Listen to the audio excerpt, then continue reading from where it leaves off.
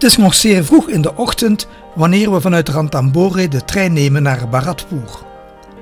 Onze bus is daags voordien al vertrokken omdat deze verplaatsing minimaal 7 uur bedraagt. De trein doet er minder dan de helft van de tijd over en dat betekent dus een flinke tijdwinst.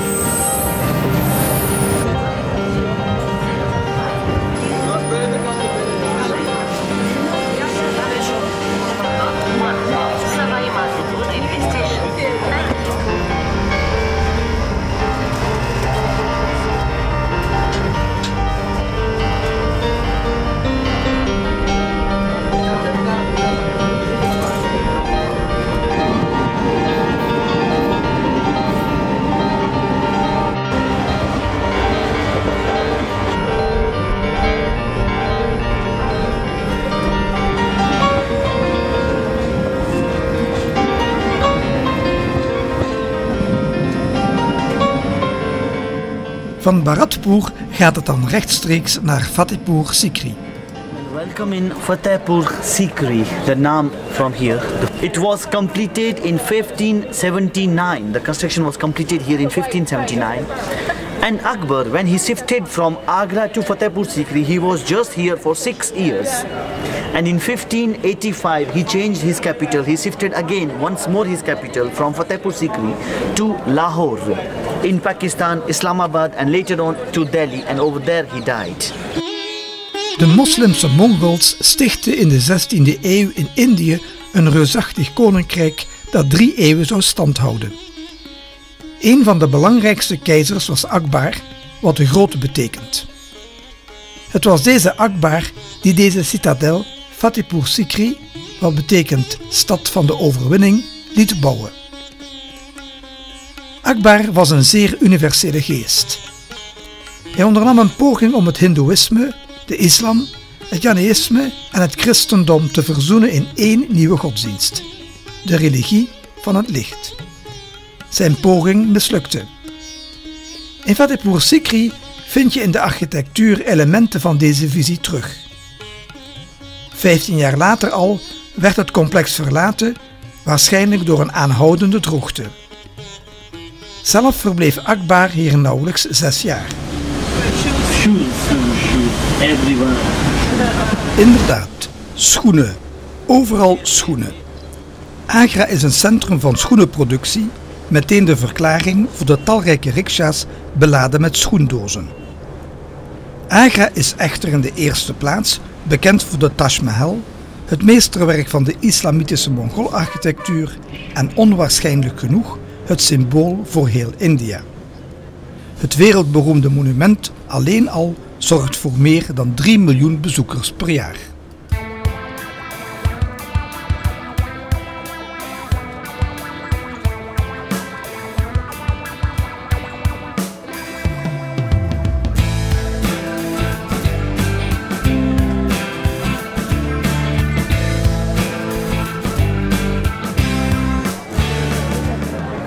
Als buitenlander betaal je 30 keer de prijs van een Indiër, ofwel 750 in plaats van 25 roepie, omgerekend 11 euro in plaats van 35 eurocent.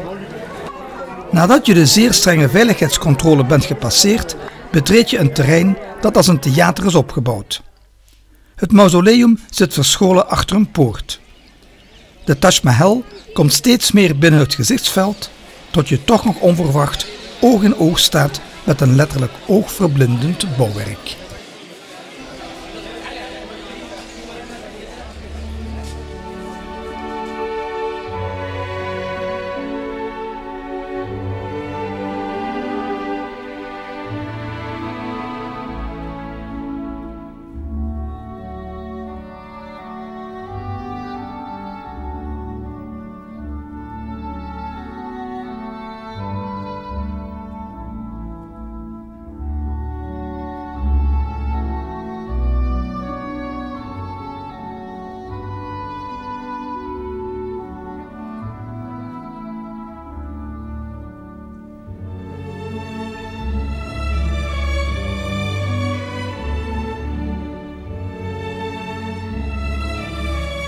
De Taj Mahal betekent de traan van Mahal. Het mausoleum is helemaal gewijd aan Mumtaz Mahal, de geliefde van keizer Shah Jahan. Ze stierf tijdens de bevalling van haar veertiende kind. Shah Jahan werd gek van verdriet. Daarom wilde hij een monument oprichten dat zijn gelijke niet kende. Duizenden ambachtslui uit heel de wereld, waaronder 1100 Italiaanse kunstenaars en hun familie, werkten 22 jaar, van 1631 tot 1653, aan deze ode aan de liefde.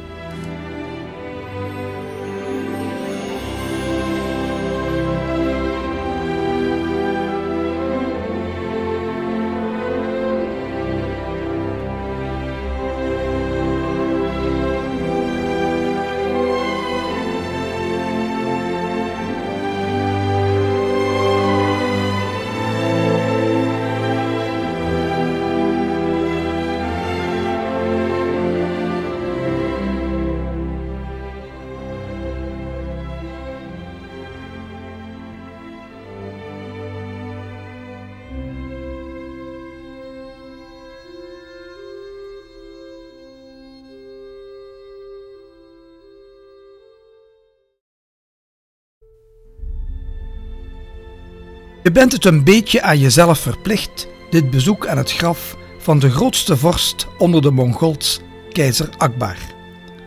Het gebouw combineert hindoeïstische, islamitische en boeddhistische elementen, geheel in de lijn van de religieuze opvattingen van de keizer.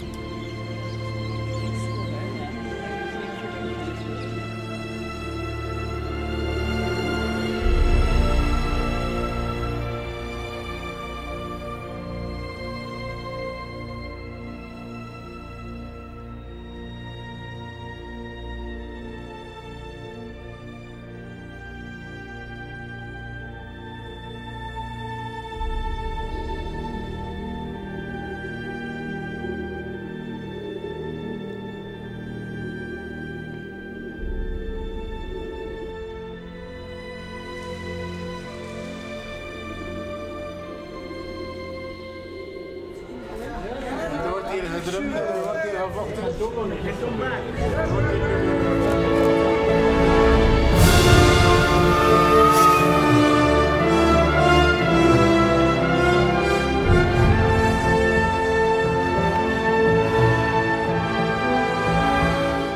is het mausoleum van grootvizier Itimat ud-Dula.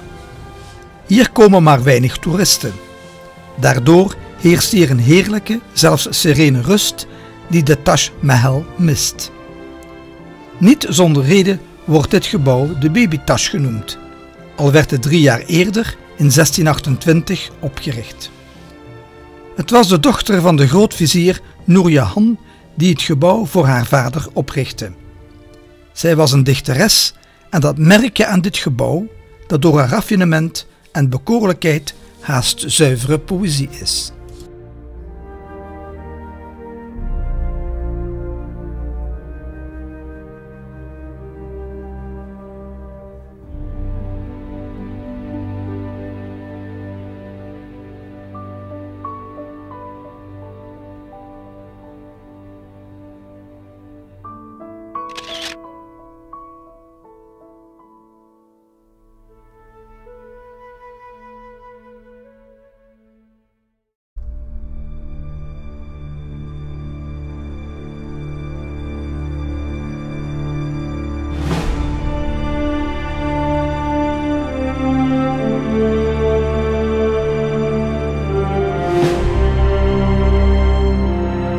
Is de Taj Mahal een ode aan de liefde? Het Rode Fort geeft je de indruk van de macht van het keizerrijk van de Mongols, dat vanaf de 16e eeuw bijna heel Indië besloeg. Deze enorme burcht werd gebouwd door keizer Akbar halfweg de 16e eeuw en gedurende 100 jaar werd er steeds aan bijgebouwd.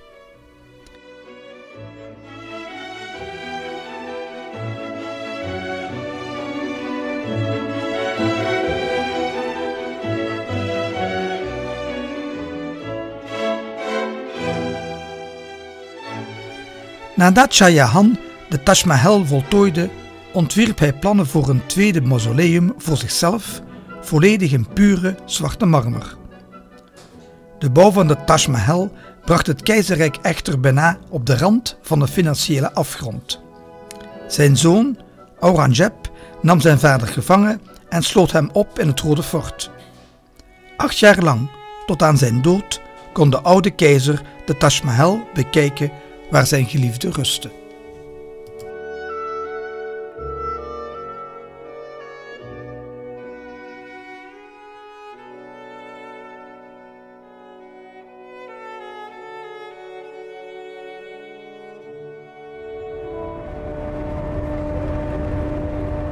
Van Agra naar Delhi loopt de enige echte autosnelweg van Noord-India.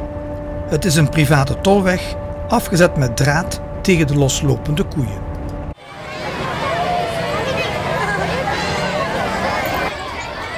Aan de crematieplaats van Mahatma Gandhi worden we uitbundig begroet door scholieren, zoals altijd netjes in uniform. De gedenkplaats is eerder sober. Toch defileren hier dagelijks veel Indiërs en schoolkinderen ter ere van de vader van de natie.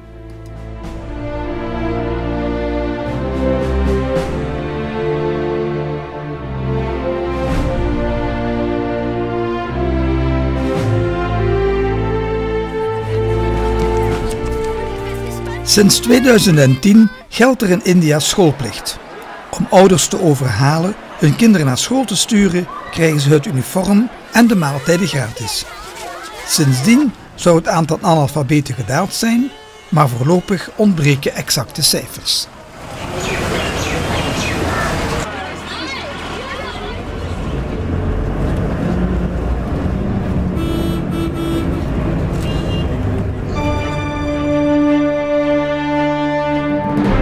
Was andermaal de Mongool-keizer Akbar die in 1565 dit grafmonument liet oprichten voor zijn vader, keizer Humayun.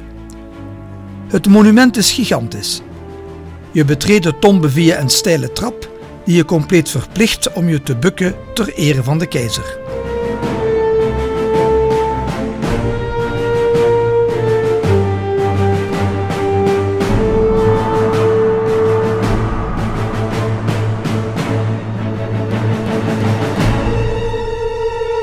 De marmeren koepel werd ontworpen volgens de techniek van de dubbele koepel. Wellicht stond dit gebouw uit technisch oogpunt model voor de wereldberoemde Taj Mahal.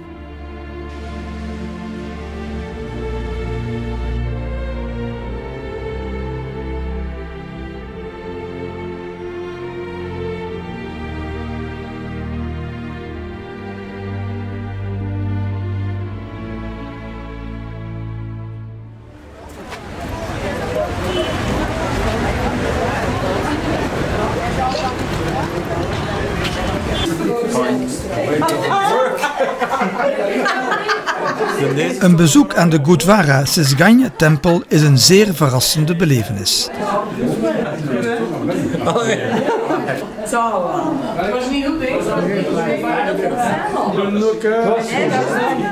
Imagine, écoute, uh, from Agra. Er is altijd een lak bij, het het hebben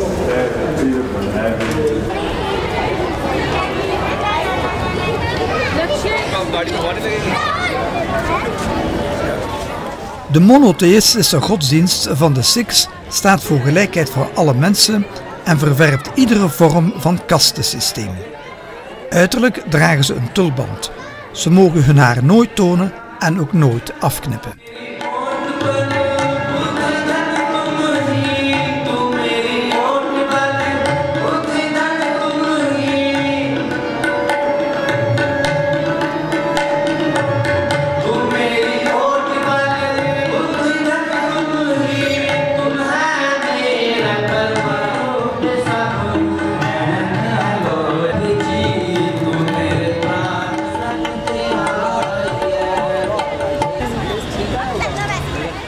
Het complex omvat 150 kamers en een aantal slaapzalen die voor iedereen toegankelijk zijn. We zijn verbluft bij het zien van deze grote menigte die zitten eten in kleermakerszit. Dagelijks worden hier om en bij de 30.000 maaltijden geserveerd. Het blijkt een onderdeel van hun geloofsbeleidenis te zijn.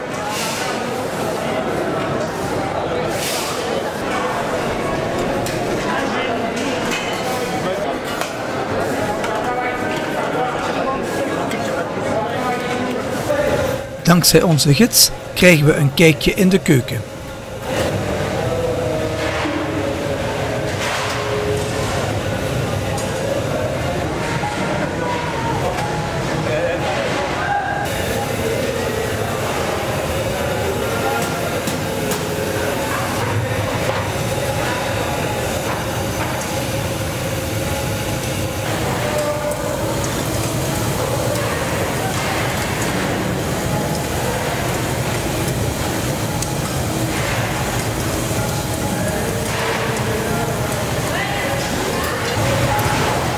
Dit is een fantastische onderneming die volledig draait op vrijwilligers. Buiten wacht intussen de volgende lading eters. Onwaarschijnlijk. Wat een afsluiter van een ongelooflijk mooie reis.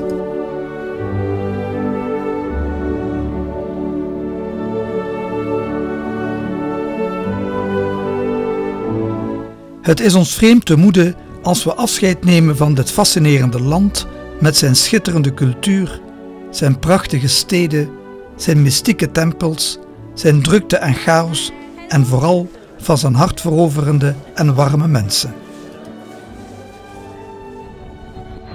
Het zal nog wel even duren voor we dit alles een plaatsje kunnen geven. Nauwelijks 9,5 uur later landen we op Brussels Airport. Het regent. We zijn terug thuis.